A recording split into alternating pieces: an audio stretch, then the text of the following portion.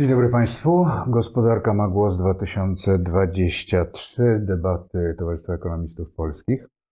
Dzisiaj mm, gośćmi są pani dr Joanna Maćkowiak-Pandera, Dzień czyli dobry. prezes zarządu, prezeska zarządu Fundacji Energii, Forum Energii. Forum Energii. Maciej Bando, czyli były prezes Urzędu Regulacji Energii, Dzień dobry. energetyki właściwie, Energetyk. e, czyli i ekspert, Maciej Stańczuk, czyli prezes zarządu Rafako. Dzień dobry. Towarzystwo Ekonomistów Polskich. E, Polskie sieci elektroenergetyczne są w stanie słabym, delikatnie to określając. Pieniądze, które miały być przeznaczone na modernizację, zdaje się, że w ostatnich latach się mocno rozpłynęły. Mm, Wydobycie węgla spada z roku na rok z 52 na 50, e, z 53 na 5 nawet na 52 miliony ton, ale za to w tym roku wzrósł, wzrósł import przekroczył do końca lipca ubiegłoroczny, więc tu jesteśmy na etapie bardzo dziwnym. E, Jak ma wyglądać transformacja energetyczna Polski, biorąc pod uwagę to, że Bełchatów chyba zaprzestanie produkcji za 13 lat? Jakoś tak koło 15. 36. Za to 30, wiedziałam. no to 13, to dobrze Mhm. powiedziałem. A alternatywy nie widać. Kto z Państwa? Aha. No może Pani? Y, No, jak ma wyglądać y, transformacja, to już y, właściwie musimy przede wszystkim korzystać z tych opcji, które są pewne i które wiemy, że jesteśmy w stanie szybko zrealizować. Na pewno ten proces odchodzenia od węgla, to co Pan powiedział, że spada wydobycie, a jednocześnie rośnie import, to jest oczywiste, dlatego że po prostu nie jesteśmy w stanie pokryć z górnictwa krajowego bardzo wysokiego zapotrzebowania. Trzeba pamiętać, że my zużywamy To trochę tam są różne rozbieżności z, z liczbami, bo twierdzą, że mają nam w zawałach za dużo i że niepotrzebnie się tyle importuje, ale to jest inna historia. No ale to jest też kwestia ceny, prawda? Bo, y, I kosztu wydobycia, bo to, to nie jest tylko kwestia warunków geologicznych, ale też ekonomicznych i tego, czy nie można pozyskać skądś surowca po, niższych, y, po niższej cenie. I to jest właśnie ten powód, dla którego import jest bardzo wysoki, ale też oczywiście to, to wszystko, co się wydarzyło w ubiegłym roku. Więc Ale i tak mamy odejść od węgla. Y, No po prostu wszystko się kiedyś kończy i y, są po prostu inne, tańsze formy wytwarzania energii, czystsze, bo też to jest bardzo ważny element. I, I tutaj jakby wiemy, że Polska ma przede wszystkim opcję rozwoju odnawialnych źródeł energii i to jest coś, co jest jesteśmy w stanie te inwestycje szybko budować y, w sposób ekonomicznie uzasadniony. Też są instytucje finansowe, które tego rodzaju projekty chcą wspierać, przede wszystkim dlatego, że one z perspektywy finansowej, inwestycyjnej są mniej ryzykowne, bo mm, za paliwo się nie płaci, za wiatr, za słońce nie płacimy. W związku z tym, jak poniesiemy koszty inwestycyjne, to wiemy mniej więcej, jak ta inwestycja będzie działać, y, jak będzie na siebie zarabiać. W przypadku elektrowni węglowych, gazowych czy nawet jądrowych y, jest to dużo trudniejsze, bo za to paliwo zawsze trzeba zapłacić, więc te koszty operacyjne są bardzo zmienne. No to, co się wydarzyło w ubiegłym roku, gdzie ceny węgla, gazu wzrosło 300-400%, tego się nie, spodziewaliśmy, y, analitycy e- energetyczni, więc i, i to jest ta, ten trend w tej chwili. Natomiast no, tutaj oczywiście się ściera bardzo wiele interesów. Y, Przede wszystkim widać teraz przed wyborami, że bardzo mocno walczy y, mm, to lobby węglowe, które próbuje no też przy tej schyłkowej fazie jak najwięcej też y, uszknąć dla siebie. No i, i, i tutaj jakby no, ten konsensus co do tego, co jest potrzebne, to jest bardzo słaby i my bardzo dużo tracimy też zasobów i energii na inwestycjach, niekoniecznie w to, co jest najbardziej potrzebne. Ostrołęka? Słucham? Ostrołęka? No to Ostrołęka to jest jeden z takich przykładów, no ale też na przykład to, co mnie tutaj boli, to to, że na przykład my nie sięgamy po potencjał ciepłownictwa, które mogłoby pomóc w bilansowaniu e, krajowego systemu energetycznego, bo zazwyczaj skupiamy się na energii elektrycznej, a bardzo dużym sektorem e, zużywającym bardzo dużo paliwa jest ciepłownictwo, które jeszcze szybciej niż energetyka musi odejść od e, węgla ze względu na koszty CO2, ze względu na, na to, że, że te mm, ciepłownie są po prostu bardzo stare, awaryjne, drogie y, i to koszt ciepła dla gospodarstw domowych jest często dominujący. I my powinniśmy mieć koncepcję tego ciepłownictwa, jak je zmienić, żeby. I ono jest w tej chwili zupełnie obok systemu energetycznego, a mogłoby pomóc w bilansowaniu e, krajowego systemu energetycznego. I wtedy na przykład te koszty budowy inwestycji po stronie e, elektroenergetyki, czyli tych elektrowni dużych, odnawialnych źródeł, czy, czy właśnie tych, które pracują, tych konwencjonalnych, byłyby niższe.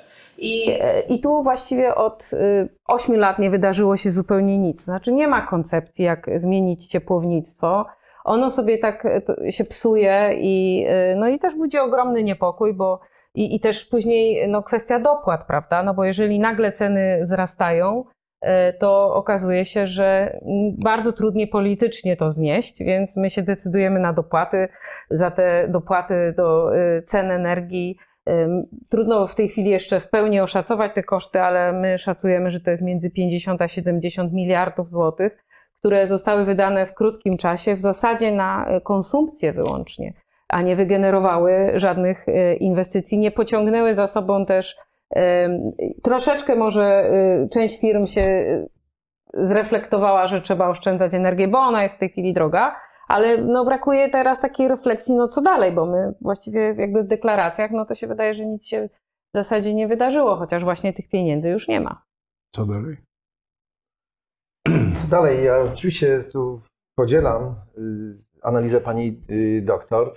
Niemniej jednak troszeczkę inaczej bym postawił y, punkty ciężkości, a mianowicie ta transformacja energetyczna jest absolutnie niezbędna i my musimy mieć jasny plan, real, realny plan odejścia od, od węgla, ponieważ na, od tego nie ma odwrotu. Ja tak miałam okazję w ostatnich kilku miesiącach spotkać się z przedstawicielami Y, większości ugrupowań parlamentarnych, y, żeby usłyszeć ich opinie na temat y, mm, programów związanych z transformacją energetyczną. No, nie było tylko możliwości spotkać się z, z, przedstawicielami partii rządzącej. Natomiast jeśli chodzi o, o opinię partii opozycyjnej, to to, to napawa bardzo dużym optymizmem, ponieważ zauważyłem no, taką 90% bliską zbieżność e, w poglądach na ten temat, co powinno być zrobione. Także w Polsce istnieje daleko idący konsensus, e, jeśli chodzi o e, konieczność transformacji energetycznej. To, że w, w opinii publicznej, w przestrzeni publicznej pojawiają się moim zdaniem zupełnie nierozumne głosy, mówiące o tym, że, że Polska powinna wyjść z systemu ETS, czyli handlu emisjami. No, no to jest bezrozumne stwierdzenie. Ten system ETS jest jakimś tam DNA Unii Europejskiej. Zresztą nie tylko Unii Europejskiej. W Ameryce dzieje się podobnie, w Chinach nawet dzieje się podobnie. Wkrótce jeśli chodzi o funkcjonowanie banków międzynarodowych finansujących przedsiębiorstwa, no, będziemy mieli pewno powszechnie z, z taką sytuacją, że firmy, które wykazywać będą ślad węglowy, po prostu nie będą uzyskiwały finansowania i to nie tylko na y, jakieś projekty inwestycyjne, ale nawet na działalność bieżącą. Tak? Także ten zegar tyka. Ja po prostu nie widzę żadnej możliwości, możemy mówić o reformie y, systemu ETS y, handlu emisjami y, w ramach Unii Europejskiej, no ale to wymaga jakiejś dyplomacji, jakiegoś budowania sojuszy, no bo taka reforma musiałaby być przegłosowana na poziomie Unii Europejskiej. Natomiast my tego nie robimy, tylko w czambu krytykujemy Y, te podstawowe zasady, które wiemy, że są nierealne. No chyba, że y, uznamy, y, że polską racją stanu jest wyjście z Unii Europejskiej, a wydaje mi się, że, że tak chyba nie jest i to jest, i to jest błędne zdanie, chociaż w dzisiejszych czasach wydaje mi się, wszystkiego można się spodziewać. Także mnie napawa e, dosyć dużym optymizmem właśnie ta, ten konsensus polityczny y, konieczności transformacji energetycznej, odejścia od węgla. Tutaj pani doktor wspomniała o ciepłownictwie. Tak, to jest, sobie w ogóle nie zdajemy sprawy. Polskie ciepłownictwo jest w 85% zależne od węgla. To jest y, i, i ciepłownictwo będzie też obarczone y, systemem ETS-u, tak? Czyli jest, jest, jest czy jest, przepraszam, jest, oczywiście, tak. Także, y, także to przekłada się w sposób bezpośredni na ceny ciepła, które płacimy wszyscy jako, jako użytkownicy. Jako użytkownicy. Także te akcje są tutaj absolutnie potrzebne, że to też jest wykonalne, to też jest rabialne, z uwagi na to, że i polskie firmy mają technologie, prawda? Te wszystkie technologie wymiany kotłów, prawda, na, na, na biopaliwa, biomasy i tak dalej, są, są w posiadaniu lokalnych firm. Nie musimy tutaj wydawać masy pieniędzy na import jakichś skomplikowanych urządzeń, czyli Również i polskie firmy będą beneficjentami y, transformacji energetycznej y, w ciepłownictwie. Jak to sfinansować? No, no wiadomo jak. No, skoro stać nas na marnotrawstwo wielu miliardów, wystarczy tylko przeznaczyć te środki z. Te, które miały być z emisji. Które miały być z emisji dokładnie. Sieci. Które, które zostały przejedzone w dużej mierze one tam w niewielkim y, stopniu tylko trafiły na y, y, projekty związane z transformacją energetyczną, a w większości trafiły do czarnej dziury, czyli naszego budżetu i najprawdopodobniej wydatki socjalne w ten sposób zostały sfinansowane. Gdyby chociażby z tego to źródło przeznaczyć na transformację polskiego ciepłownictwa, to pewno byśmy mieli spokojnie całą, całe ciepłownictwo Wiem, że ta część która, ciepłownictwa, która jest w rękach, że tak powiem, francuskich, to ona jest bardzo modernizowana. No.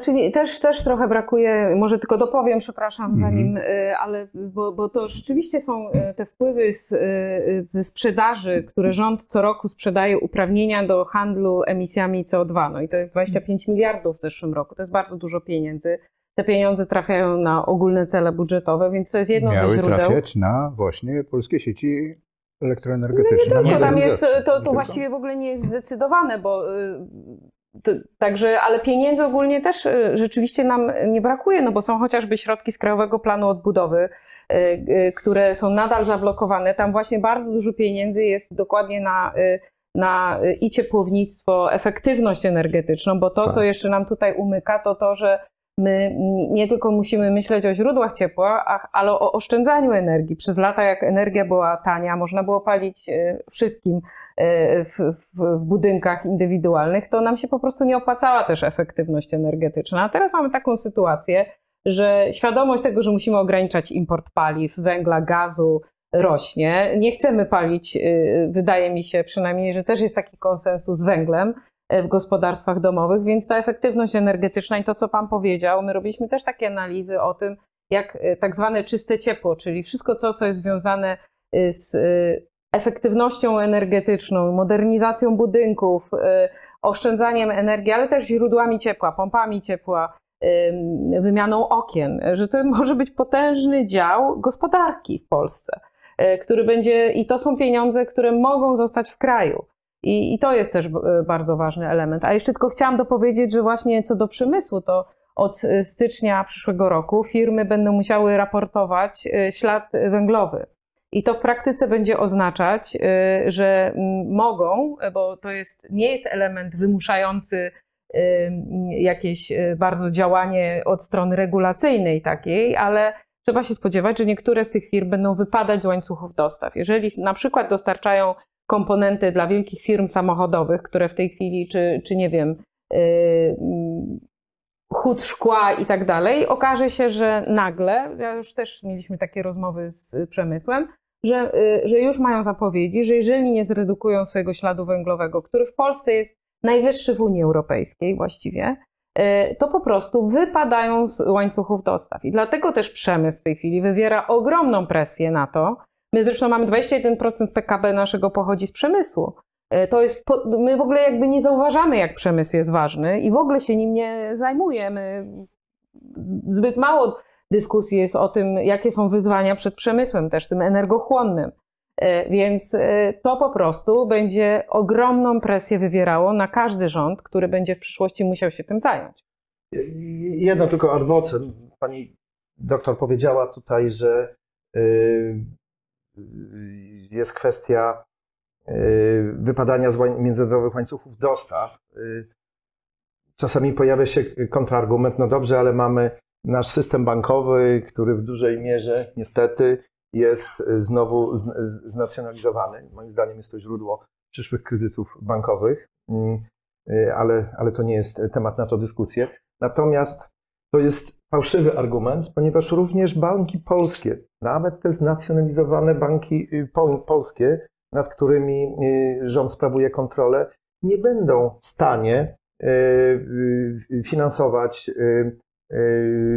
projektów węglowych, a pewno w niedalekiej przyszłości również firm y, wykazujących ślad y, węglowy. Nie, nie, tylko jest kwestia wypadania z międzynarodowych łańcuchów dostaw, to jest bardzo ważna kwestia, ponieważ taki jest, mamy, mamy model y, gospodarczy, prawda, który był źródłem tego naszego gigantycznego sukcesu po 1989 roku, że udało nam się dzięki otwartości naszej gospodarki i, korzyściom komparatywnym niewątpliwie, które, które posiadaliśmy, no wejść prawda, w, łańcuchy dostaw koncernów międzynarodowych. Także to jest bardzo duże zagrożenie. I nawet, tu chciałem przestrzec wszystkich tych, którzy mówią, że zawsze mamy wpływ na PKO BP czy PKO SA. Nie. Te banki też w swoich strategiach Y, mają jasne kwestie postawione w bardzo jasny sposób odchodzenia do węgla. Dlaczego? Ponieważ gdyby tego nie zrobiły, to by nie były w stanie też refinansować swojej działalności, pozyskiwać na przykład funduszy na międzynarodowych rynkach kapitałowych.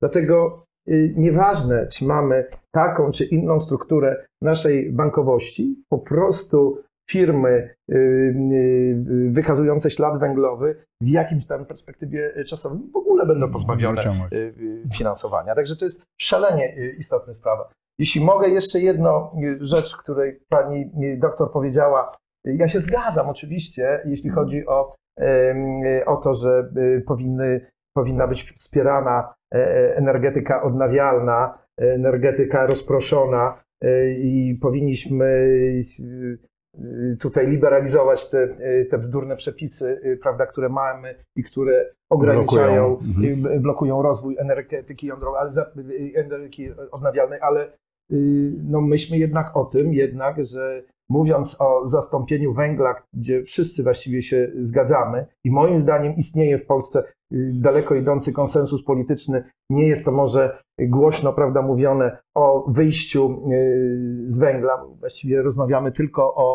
to kiedy to ma nastąpić, dzieje, tak. a, a nie y, fundamentalnie nie sądzę, żeby ktokolwiek wracał do tej nie do końca szczęśliwej e, wypowiedzi e, polskiego prezydenta e, kilka lat temu, że starczy nam tego węgla na 200 lat. No może starczy. No.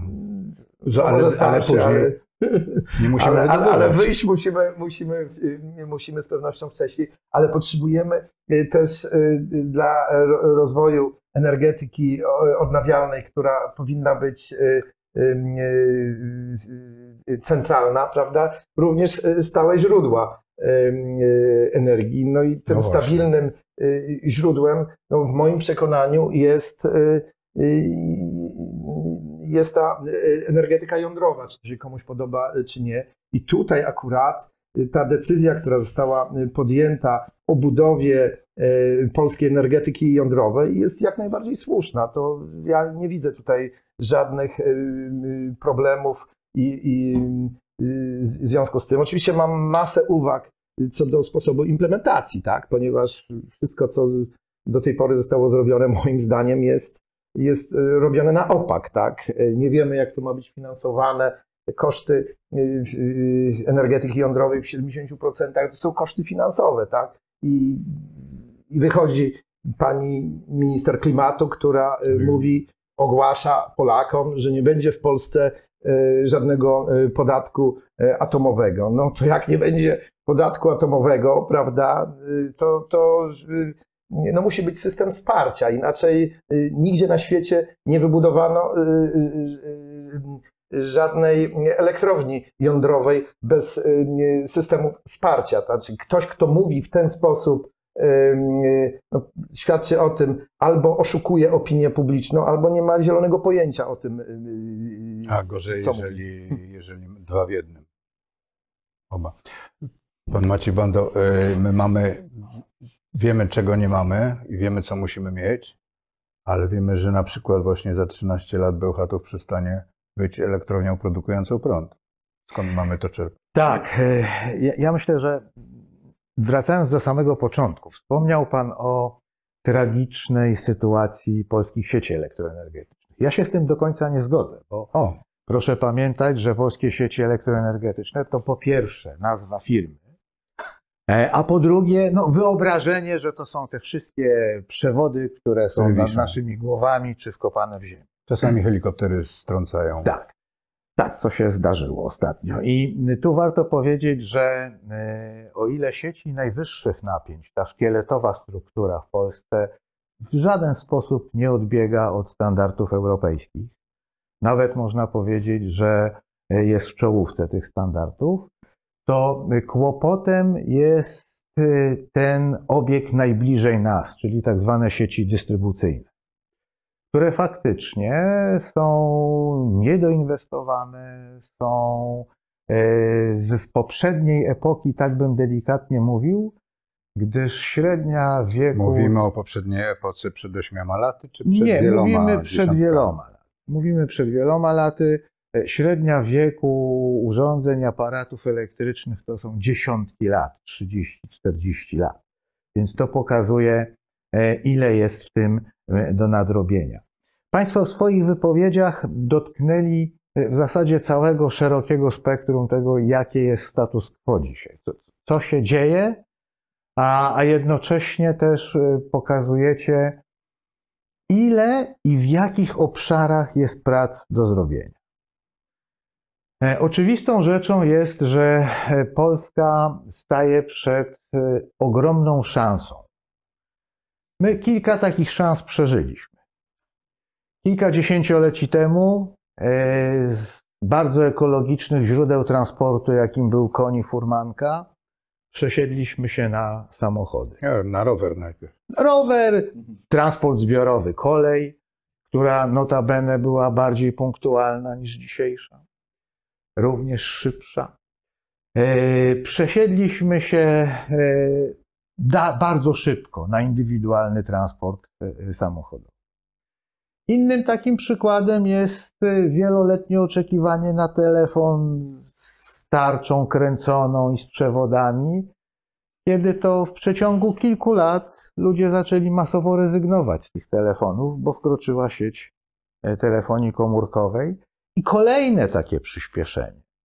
Kiedy komputery były po pierwsze jakimś wyznacznikiem bogactwa, potem źródłem zabawy, nie mówię o gospodarce, to dzisiaj komputer praktycznie każdy ma w swojej kieszeni, czyli smartfon. I my mamy też tą możliwość przeskoczenia pewnego etapu ewolucyjnego w taki sposób, w jaki kilka razy w naszej historii się to zdarzyło. Myślę tutaj konkretnie o energetyce. A nie ma odwrotu z przyczyn, o których Państwo powiedzieliście przed zazielenieniem naszej energetyki. Ale nie można tego też robić konserwując status quo. O takiej konserwacji myślę na przykładzie NABE. Wprowadzenie programu NABE to jest zakonserwowanie może to na B, Narodowa na... Agencja Bezpieczeństwa Energetycznego. Agencja, która ma działać w formie spółki, która ma e, grupować wszystkie emisyjne, oparte o węgiel kamienny i brunatny źródła energii, w tym kopalni, która ma być państwowym monopolem na dzień dzisiejszy dostarczającym blisko 70% energii elektrycznej w Polsce. Jako były prezes Urzędu Regulacji Energetyki mówię stanowcze nie. A filozofią regulatora jest promowanie konkurencji, jest dbałość o obie strony rynku, czyli klientów i producentów. To jest realizacja tego programu, to jest całkowite zaprzeczenie takiej idei. To jest sprowadzenie Polski do centralnie planowanej gospodarki. To jest wreszcie podążanie wytyczonym przez już historyczną politykę Rosji wykorzystywaniem energetyki jako narzędzia politycznego, z czym dzisiaj mamy de facto do czynienia.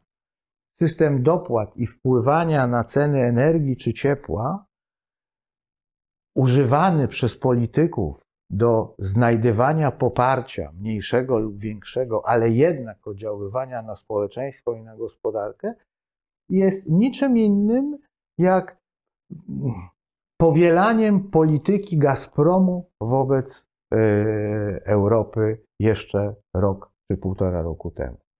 Więc nie można czerpać takich wzorców, nie można w ten sposób budować przyszłości.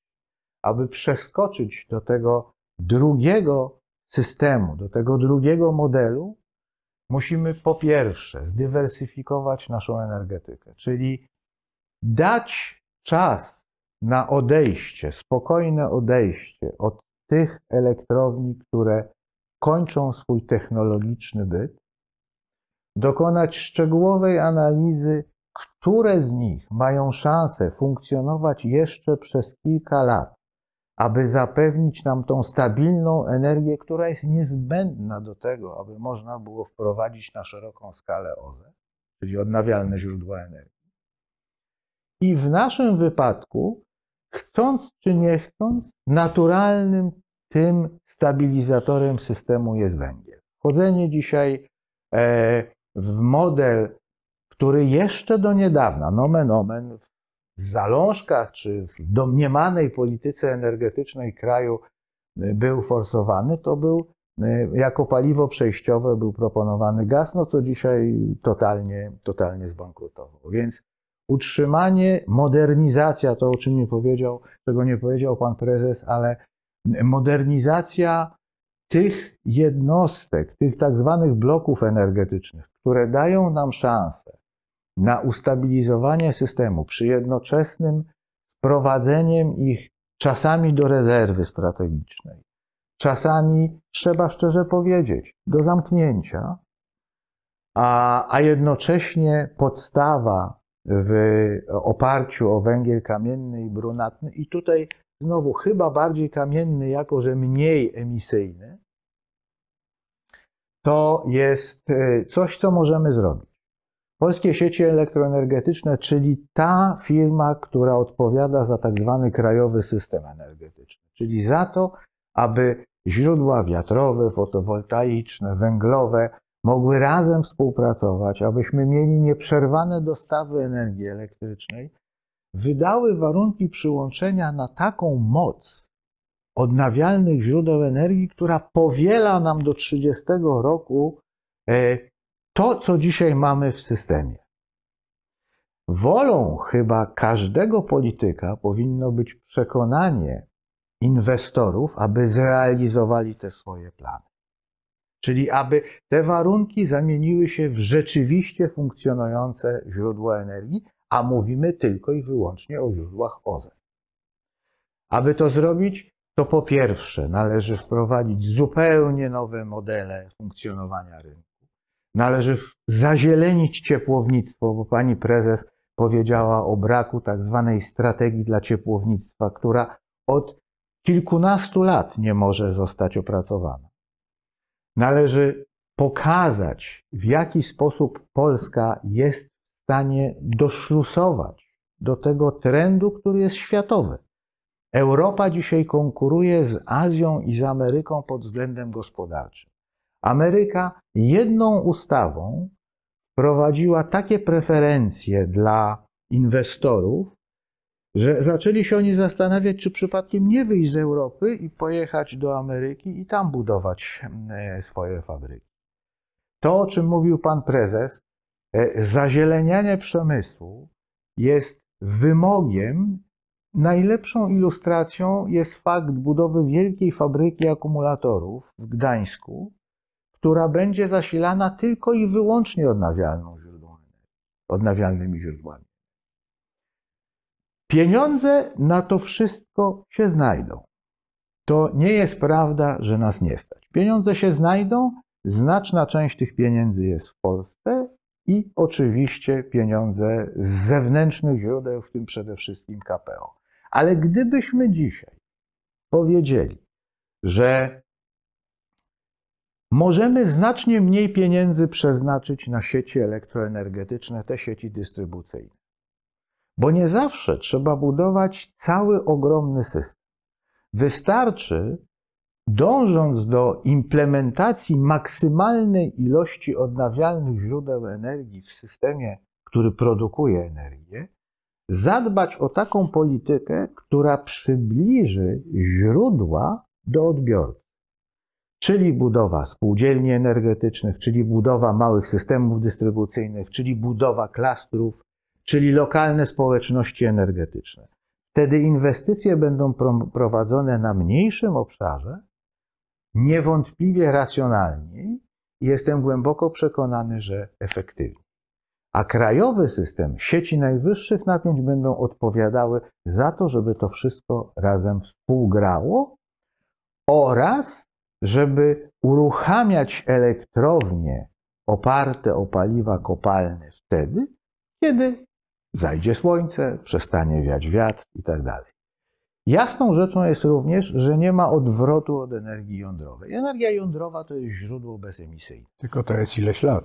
Oczywiście, to jest Trzeba według dotrwać. deklaracji, według deklaracji rządu, którym nomen omen nie wiadomo kto odpowiada za politykę energetyczną, a tym Ale bardziej nie kto ją sugeruje pan, prowadzi. powołać Ministerstwo Górnictwa i Energetyki? Ja w tej chwili niczego nie sugeruję. Ja zwracam uwagę na to, że co najmniej trzy, e, a może i cztery ministerstwa maczają swoje palce w polityce energetycznej bez wzajemnej koordynacji. E, Więc po prostu no, ogromny, jeden ogromny bałagan. Gdybyśmy zdecydowanie przyspieszyli i załapali się, mówiąc kolokwialnie, na tą pierwszą linię budowy i instalacji, bo to bardziej chyba byłaby instalacja tak zwanych małych reaktorów. Uzyskalibyśmy po pierwsze bardzo dobre źródła energii dla wielkich zakładów przemysłowych, bezemisyjne. Po drugie, uzyskalibyśmy źródła ciepła dla dużych aglomeracji miejskich i już pewną część tych kłopotów, no, do 30 roku y, y, mielibyśmy rozwiązanych. A sytuacja jest o tyle poważniejsza, że no według oficjalnych dokumentów już od 2025 roku Polsce może, mogą grozić, jeżeli założymy, że nie ma awaryjnego importu z zagranicy, mogą bo, grozić niedobory w generacji energii elektrycznej. A to nie jest sygnałem dla rozwoju przemysłu, dla rozwoju gospodarki, jeżeli mogą się zdarzyć takie sytuacje, że nie mamy przysłowiowego światła, bądź wprowadzane są ograniczenia, te, które miały miejsce e, w 2015 roku. Więc energetyka to jest taka dziedzina gospodarki, która oddziaływuje na każdego Na z nas. A to oddziaływanie jest i w gospodarstwach domowych, i w gospodarce w sektorze usług e, czy handlu. Pamiętać też trzeba o tym, że wszyscy poważni inwestorzy analizują, jak wygląda zaopatrzenie w surowce, w energię, Jak będzie wyglądał jak będzie.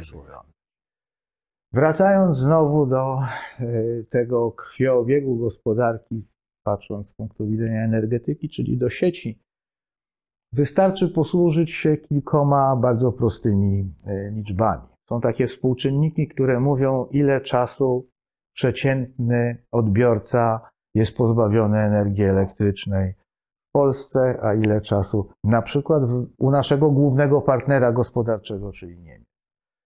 Jeżeli w Niemczech jest to kilkanaście minut, to w Polsce jest to kilkaset minut. Więc jest to ilustracja tego, ile jest do zrobienia. Ale nie da się tego zrobić, jeżeli Firmy dystrybucyjne, największe firmy dystrybucyjne, które de facto odpowiadają za blisko 90% rozdziału tej energii do odbiorców, są a włączone w wielkie koncerny energetyczne. Wielkie koncerny energetyczne rządzą się swoimi prawami, rządzą się wspólnym zarządzaniem e, majątkiem, wspólnym zarządzaniem kasą. Myślę, że jednym z kluczowych rozwiązań na to jest wydzielenie spółek dystrybucyjnych z tych koncernów, tak aby one nie było nawet cienia wątpliwości, że z większą sympatią patrzą na swoje elektrownie niż na elektrownie innych, żeby nie było wreszcie tego, że pieniądze czy wygenerowane zyski są transferowane do spółek matek i przeznaczane znowu, czy to na działalność fundacji, czy to na działalność e, rozwoju bądź jakiegoś wsparcia socjalnego dla no, niszowych już gałęzi e, gospodarki, jakim jest chociażby energetyka oparta o paliwa kopalne. Więc wydzielenie tego, zagwarantowanie inwestorom, tym, którzy posiadają akcje i udziały, godziwego zysku, ale jednocześnie przeznaczenie całego pozostałego zysku na rozbudowę sieci, bo pamiętajmy, że sieci są finansowane z taryfy. Dzisiaj to jest rzędu 12-15 miliardów złotych rocznie przeznaczane na, na tę dział, działalność mm, elektroenergetyki. Gdybyśmy jeszcze założyli, że dodatkowe chociażby 50 czy 30 nawet procent zysku firm dystrybucyjnych będzie przeznaczone na modernizację sieci i przyjęli ten model, o którym powiedziałem, czyli zmniejszania obszarowego, przybliżania generacji do, Do odbiorcy. do, do odbiorcy, po pierwsze, zyskamy bezpieczeństwo w tym najczystszym rozumieniu, czyli nie spadnie bomba, nie popsuje się coś, co będzie miało wpływ na cały e, obszar i na wszystkich odbiorców, tylko zawęzimy siłę rażenia, mówiąc po wojskowemu. Dalej, lokalne społeczności będą miały wpływ na lokalną politykę energetyczną. Czy chcemy więcej OZE, czy mamy warunki do biogazowni, czy mamy warunki do słońca, do wiatru itd. itd. Więc jest to szansa, której nie możemy zaprzepaścić i z ogromną troską ja dzisiaj obserwuję i y, czytam programy z obszaru energetyki wszystkich partii, które y, uczestniczą w wyścigu wyborczym i muszę z przykrością, y, a może nie, może z radością stwierdzić to, o czym powiedział pan prezes Stańczuk, że gronie, w gronie opozycyjnych, tak zwanej opozycji demokratycznej, jest ogromny konsensus. No poza Konfederacją chyba. No i tutaj bym, Ja- i tutaj ja- bym tak, bo ponieważ my, my uczestniczyliśmy razem w takich spotkaniach, więc też byłem zaskoczony tym, że, że przynajmniej z tych deklaratywnych, deklaratywnych wypowiedzi aż takich różnic nie było. Myślę, że te szczegóły z kolei tak się rozbiegają, że tutaj trudno jest dzisiaj y, mówić o jakimś konsensusie, ale bardzo chętnie zasiadłbym do takiej nim dyskusji. Tak, zasiadłbym do takiej dyskusji. Pewne założenia uważam za błędne, ale to nie znaczy, że nie możemy się porozumieć. Najważniejszą rzeczą jest wola rozmowy i wola dojścia do konsensusu, a nie traktowanie innych y, jako zupełnie nie mających pojęcia i nie traktowanie też tego, że e, racja stanu Polski, o czym powiedział pan prezes, dzisiaj jest racją stanu partii. Bo jednak jest coś więcej niż racja stanu partii. Pani doktor. Ja, ja może bym się tylko chciała odnieść do tego wątku cenowego, cen energii, bo znaczy jedną rzecz, tak trochę polemizując z panem prezesem, to y, to, że jednak te dopłaty, bardzo trudno byłoby poprzedni rok przetrwać bez żadnych Oczywiście dopłat. tak. E, I też pamiętajmy, że, że jednak one były stosowane właściwie we, we wszystkich krajach Unii Europejskiej. Komisja Europejska nawet wydała taki specjalny poradnik, można powiedzieć, bo taki to był bardziej status, jak to robić, żeby nie, nie zepsuć wszystkiego. Natomiast przychodzi taki moment, że Skorzystaliśmy z tego? Y, Skorzystaliśmy, tak, zgoda, skorzystaliśmy. To nie, więc pewne zasady były wdrożone, może nie do końca takie same, bo wydaje mi się, ale natomiast to, co się wydarzyło i jakby to, to że my mm, jakby bardzo y, obecnie korzystamy z tego, z tych rozchwianych zasad do realizacji jakby własnych celów, zapominając o tym, że rynek energii co do zasady ma mobilizować inwestycje, bo on tworzy, ma, opiera się na pewnych zasadach, które dla różnych uczestników y, biznesowych y, pozwalają y, jakby zaproponować działania, które, na których oni oczywiście zarobią, ale jednocześnie system skorzysta. I to jest dlatego tak niebezpieczne, że my będziemy stosować, no teraz y, ten case y, zastosowany, czyli d- 12% z- y, zwrot Historyczny. historyczny, to jest bez precedensu. Znaczy właśnie to, że rząd zaproponował, że będzie 12% zwrotu kosztu energii zakupionej już, właściwie w dużej części zapłaconej w tym roku. To jest absolutny paradoks, dlatego że no, prawo nigdy nie powinno działać wstecz. No, trudno sobie wyobrazić, jak szkodliwe to jest dla y, różnych inwestycji, które mogłyby się w Polsce pojawić, powinny się pojawić, y, żeby zmobilizować firmy. Więc to jest jeden aspekt. Czy ktoś oprócz ekspertów to zauważył? Tak, znaczy myślę, że większość, znaczy, aha, szkodliwość. No myślę, że jesteśmy w takiej fazie w tej chwili rozemocjonowania i y, że, że nikt tego już nie widzi. W sensie nie, nie wiemy, co, co z tym zrobić. Zresztą to się w bardzo nieoczekiwany sposób pojawiło i też świadczy o tym, w jaki sposób prawo się stanowi, że właściwie nie ma konsultacji, że to właściwie No, ale tak jest od 8 lat. rozporządzenie, no nie ze wszystkim, ale rzeczywiście to po prostu y, w tych kluczowych aspektach y, to, to było bardzo trudne. Natomiast jest jeszcze jeden y, też inna strona tego metalu, że rynek rynkiem, ale też po drugiej stronie jest kwestia y, dostępności do energii elektrycznej, no i jakby ubóstwa energetycznego, y, które, które na pewno w Polsce istnieje i tego, że że nie wszystkich tak naprawdę stać na tą energię elektryczną. Ona już w tej chwili jest e, droga w porównaniu z innymi krajami unijnymi, bo chociażby dlatego, że jest właśnie dociążona po pierwsze ceną węgla, a po drugie kosztem tej emisji.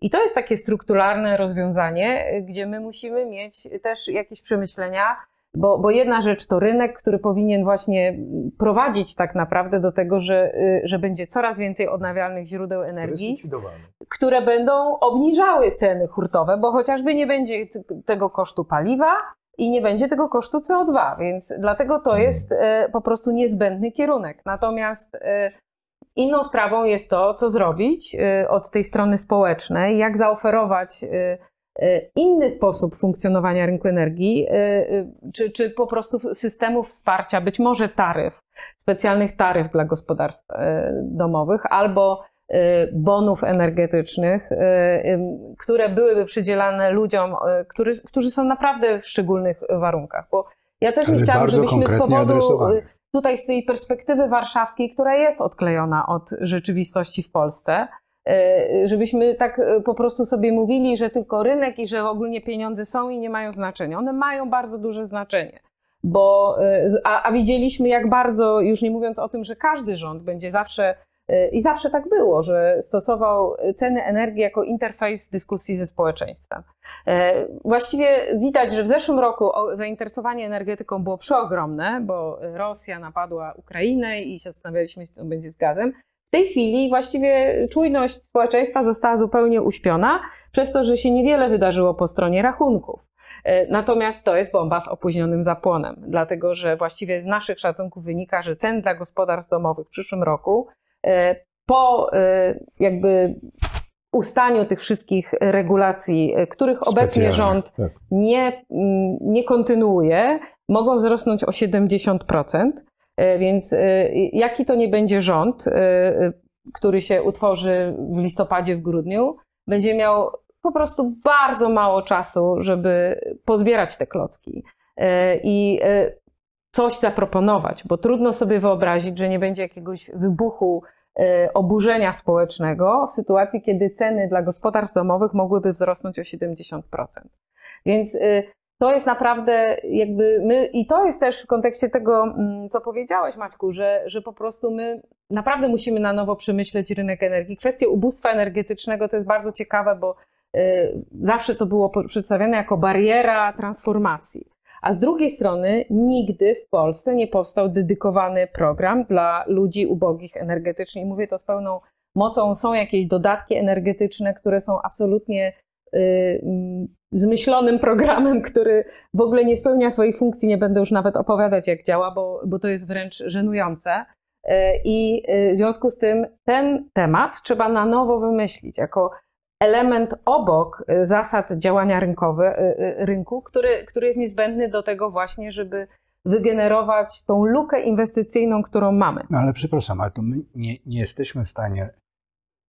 Dystrybutorzy przecież wiedzą, kto ile płaci za energię, a z kolei można wiedzieć, kto nie może zapłacić za tę energię. To nie jest do końca takie proste, dlatego że po pierwsze, no to był, no, był, był, był nawet e, temat e, kiedyś wprowadzenia właśnie specjalnych taryf, tylko że w zasadzie e, jakby poziom dochodów jest nie, niekoniecznie jawny i publiczny. To, to jest pierwszy temat. Drugi temat jest taki, że są różni członkowie rodziny, którzy mieszkają w domu, więc równie dobrze licznik może być na przykład na emerytkę, a w domu może mieszkać rodzina y, całkiem nieźle sytuowana.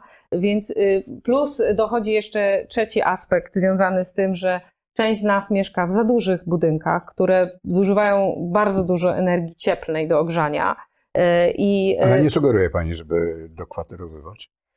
Nie, nie, nie, nie, sugeruję. Mówię, że to jest po prostu bardzo złożony temat i to nie jest takie proste to nie mamy czasu tutaj na tą dyskusję, Dokładnie. Y, jak mogłoby to działać. Y, moim zdaniem po prostu na pewno wsparcie dla ludzi ubogich powinno być większe i bardziej znaczące.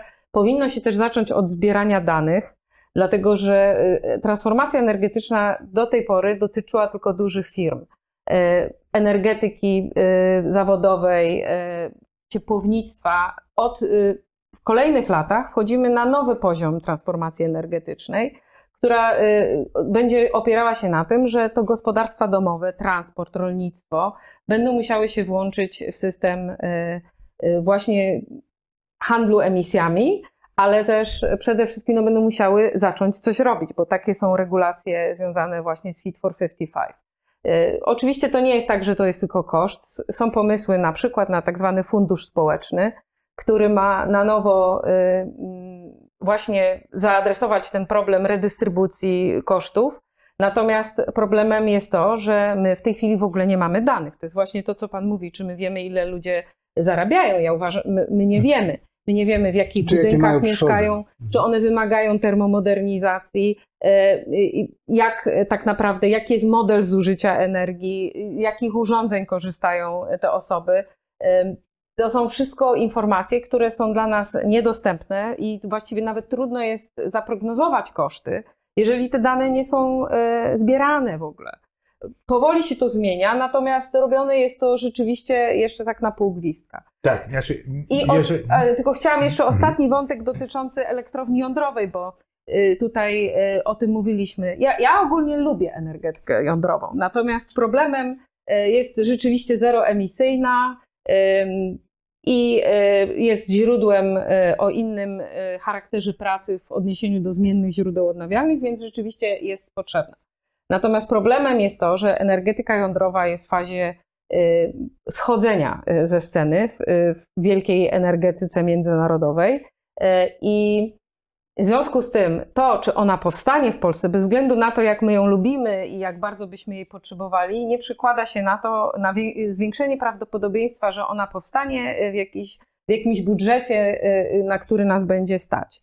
I to jest y, coś, na co ja chciałam zwrócić uwagę, bo powód, dla którego Ministerstwo Klimatu w tej chwili też nie wychodzi y, z propozycjami właśnie konkretów mechanizmu finansowania, wynika chociażby z tego, że wtedy się okaże, mhm że to jest po prostu najdroższa forma energii obecnie, bo te firmy Westinghouse, też y, z, y, z innych krajów, francuskie, po prostu nie, pra, y, nie mają w tej chwili aktualnej wiedzy, doświadczenia, czy no może doświadczenie mają, ale nie budują tych elektrowni na masową skalę, żeby jednocześnie wyzwania związane z regulacjami, z łańcuchem dostaw tych poszczególnych komponentów, ale nawet z paliwem jądrowym, które też jest, y, jakby pochodzi z importu. Notabene to też jest y, ta, taka sytuacja, że my w zasadzie możemy oddać część naszego bezpieczeństwa energetycznego tym firmom y, francuskim, y, amerykańskim y, i, i mieć nadzieję, że oni dowiozą nam to. Więc to też nie do końca wpisuje się w ten model, że my raczej powinniśmy korzystać z opcji, które są zdywersyfikowane, powszechnie dostępne, pewne do dostarczenia, chociaż w tych czasach właściwie nic nie jest pewne. I moim zdaniem to jest coś, co trzeba mieć po prostu na uwadze. A mnie tego brakuje w Polsce, że Czyli to jest trochę dyskusja o tym, czy lubimy, czy nie lubimy. Podstawowa E, a to Pani rekomendacja to myśleć o przyszłości energetyki. Ale też y, O konsekwentnie ją no realizować i sprawdzać, czy ten y, dostawca technologii jest rzeczywiście w stanie zrealizować tą inwestycję w czasie i w budżecie. I to są dwa największe wyzwania, które do tej, a przykłady z Europy w ostatnich latach pokazują, że to się raczej nie dzieje. No, ja mam polemiczny głos, ale jedno zdanie ad, ad, ad Dobrze. E, oczywiście przebudowa energetyki musi iść w parze i przy każdym człowieku, który mówi o reformie rynku, o reformie wytwarzania i tak dalej, musi być obok drugi, który powie, ale pamiętajcie o tych, na, których nie stać na e, drogą energię, pamiętajcie e, o tym aspekcie, nazwijmy go socjalnym, Socjalnym. w dobrym tego słowa znaczeniu. Więc to jest jasne, nie można o tym zapominać. Liberalizm taki czysty, wolnej Amerykanki już chyba nie ma miejsca w dzisiejszym świecie. Natomiast właśnie liberalna gospodarka z tym bocznym takim e, zasilaniem czy myśleniem o, o, o e, aspekcie socjalnym, to jest to, na czym no, kilka gospodarek, chociażby północnej Europy, e, całkiem dobrze funkcjonuje. I jedna też adwocem do, do, do, do energetyki jądrowej. A proszę Państwa, e, problemem jest luka technologiczna. To znaczy, dzisiaj nie ma takich systemów, takich technologii, które pozwoliłyby w 100% zabezpieczyć produkcję energii elektrycznej tylko i wyłącznie w oparciu o odnawialne źródła energii. Jest e, święty gral w postaci wodoru, czyli magazynu energii, bo my mówimy o tym, że trzeba tą energię zmagazynować, żeby można było nie mówić o paliwach kopalnych. Energię pochodzącą ze źródeł odnawialnych. Jest, no, perspektywie, tak to powiedzmy, chociaż ogromne pieniądze na to są przeznaczane.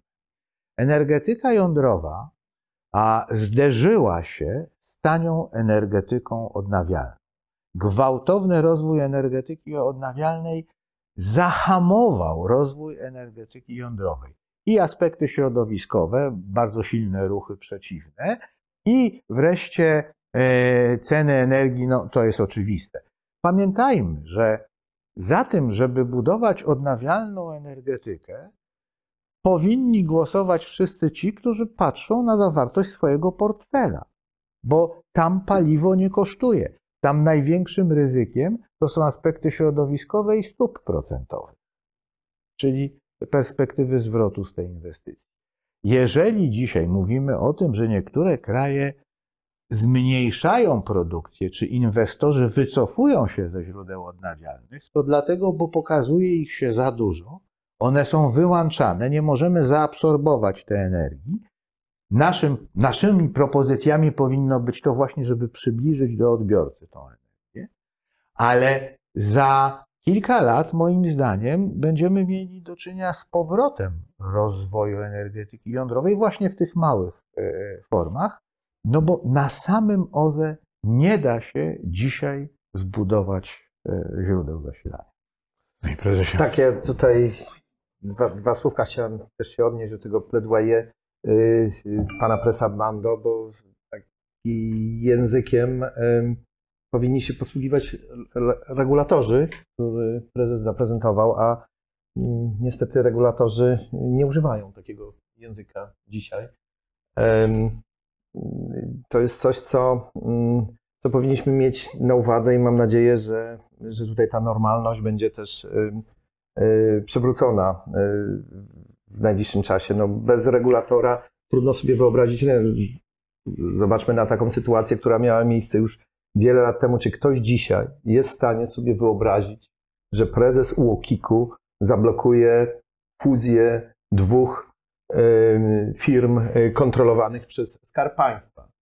A 10 lat temu taka sytuacja była, kiedy zablokowana została właśnie przez prezes UOKiK-u próba przejęcia e, e, przez PGE energii, energii tak, w tamtym czasie. No, dzisiaj to, to się wydaje czymś... Czy firmy Energa. Firma Energa, tak. Firma Energa, tak. Dzisiaj to się wydaje czymś zupełnie niewiarygodnym, ponieważ w takich sytuacjach no, regulatorzy milczą. Tak?